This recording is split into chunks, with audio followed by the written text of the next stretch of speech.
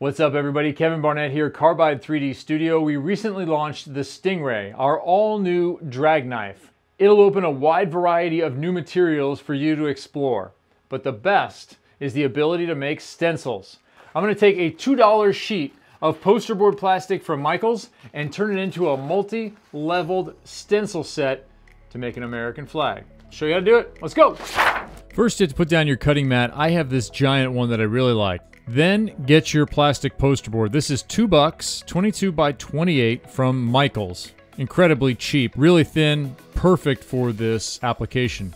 Throw the Stingray out, get your blade height set. Blade height is not terribly critical here with no backer. You simply cut through the plastic and into the mat.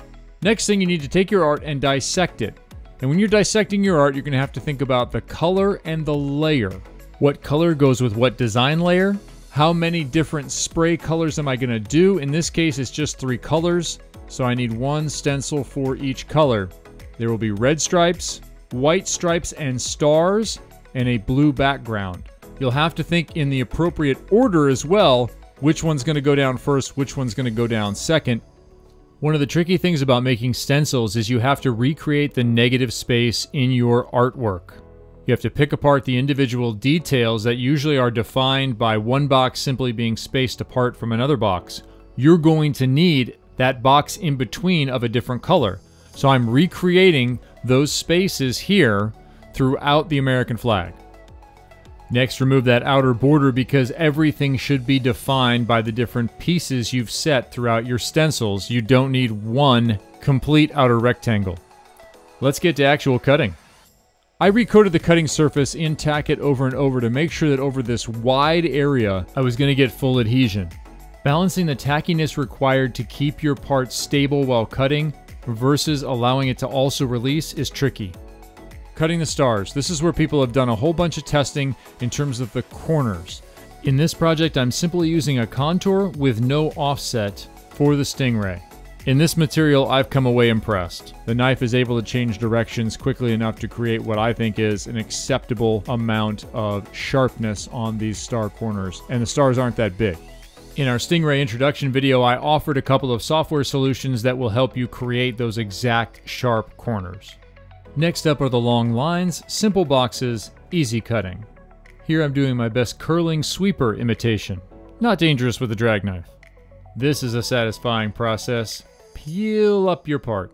I probably could have set the drag knife a little bit longer. It would have come out a little crisper, but weeding the stars is easy. They just pop right out of there. The registration mark off to the side will also pop right out. This is easy work. Peel up the third piece. This is the red layer. We're ready to go to paint. Here comes the fun part. This was done vertically on cardboard as a test immediately after cutting. I was really impatient with the whole thing. I wanted to get to it. Many of you probably know that feeling with a project. First up is the blue background along with the registration marks to get started. That'll help you align things. These aren't necessary, you can find a bunch of different ways to align things. This is the way I chose to do it this time. Right away you get a feel for the street art nature of this process. If you want to find a way to pin down all the edges of your stencil, you're going to get sharper lines. You can experiment with that with different projects and adhesive options. Next up was red, and I was just going quick too. No time for the paint to dry, just get right after it. Peel it up, Things are starting to take shape. Five minutes later, I was back with the white and I added one extra piece of tape given the number of features that were being sprayed in. I didn't press on it too hard. Again, impatience and partially wet paint. I wanted to see what this looked like. At this point, I was getting pretty excited about the possible results. I threw a little extra on the stars and then admired my work. This is something you couldn't do on the Shapeoko before the Stingray. Every time you step into the shop and use your machine, you're going to do some learning.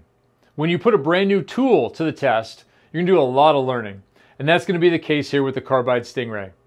I'm excited about it for the ability to make stencils alone. That would justify the tool for me. I have a lot of interesting ideas about multi-layer stencils that are far bigger than three. I also have heard people talking about cutting out pieces in thin plastic to then put into an epoxy pour. That's an interesting idea.